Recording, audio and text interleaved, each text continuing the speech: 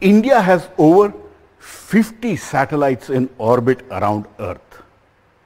And the satellites are made at the UR Rao Satellite Center in Bangalore. And I have with me Mr. M. Sankaran, the director of the UR Rao Satellite Center, somebody who's been involved as a power system specialist. That's why I call him the powerhouse of ISRO.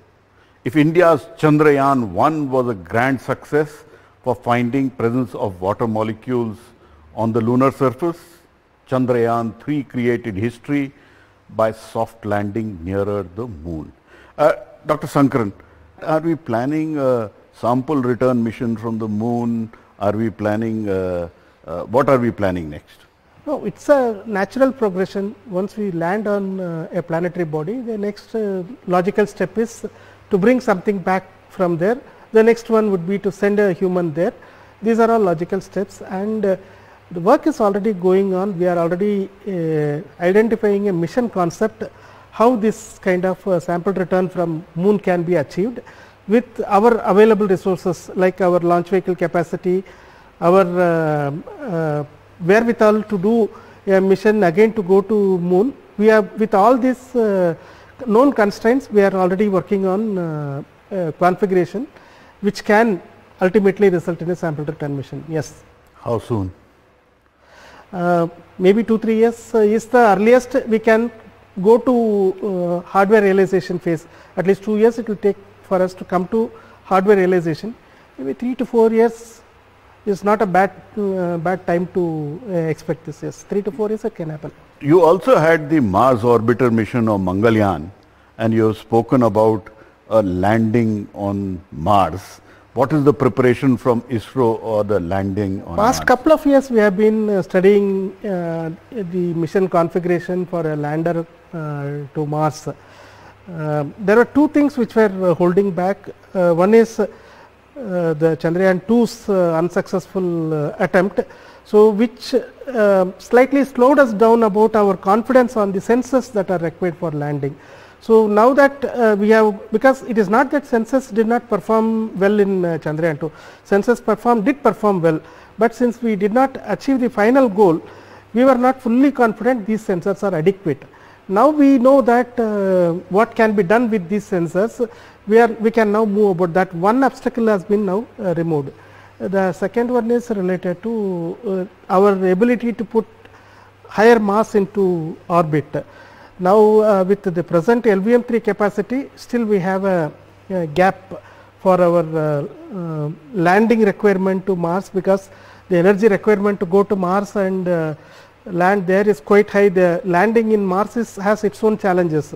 In addition to the gravity field like uh, what is there in moon, the atmosphere also poses uh, it is A like- challenge. it, yeah, the heating that happens during the entry into the Martian atmosphere will, will call for additional uh, protections, thermal protections, which is again mass. So we are uh, studying that. Now already in the launch vehicle side also there have been enhancements that are going on and we do expect in another two years uh, the launch vehicle should be able to give us at least another 20 30 percent more. So I think we have now a case with, with that as the target about 20 percent increase in the vehicle capacity in 2 to 3 years. We should be able to come out with a strategy for a, a lander. Already we have a we have an outline.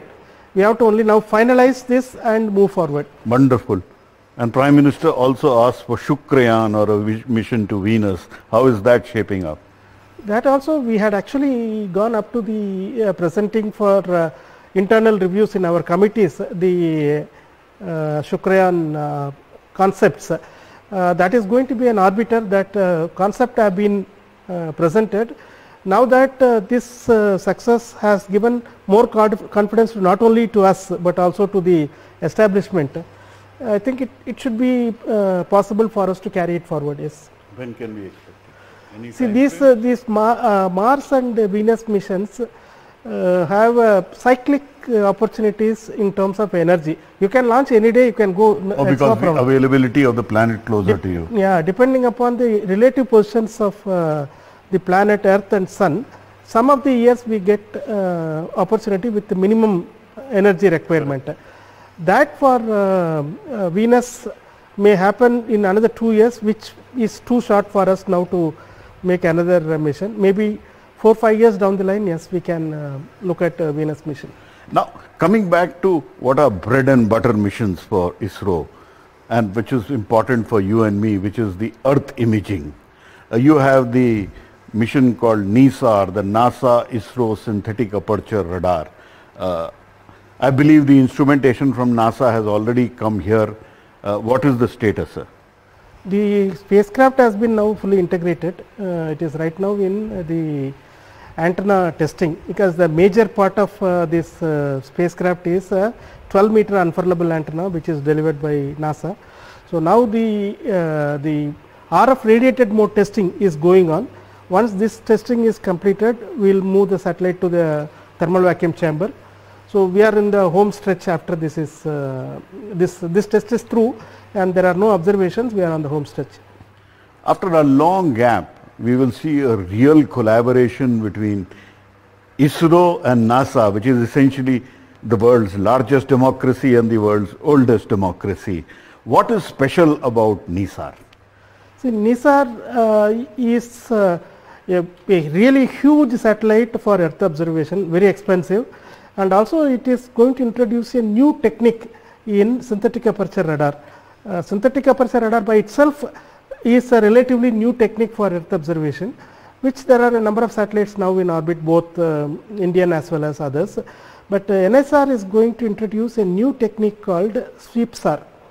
The SweepSAR technique is going to be used in uh, spacecraft for the first time in NISAR.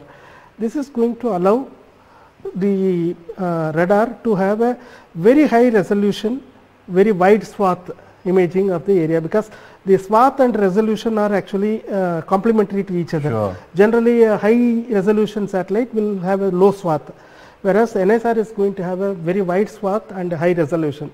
This is a first of its kind technology that is going to be done in space for the, by this NISAR spacecraft. So that was Mr. Sankaran, the director of the UR Rao Satellite Center, telling us about the future missions of the Indian Space Research Organization. And some things which excite me are the NASA ISRO synthetic aperture radar, which is essentially a satellite which will look for changes of climate change and then the docking experiment. I'm very much looking forward to that because that is a gateway to our having our own space station in the low Earth orbit. From inside the UR Satellite Center of the Indian Space Research Organization with camera person Kumar, Pallav Bagla for NDTV.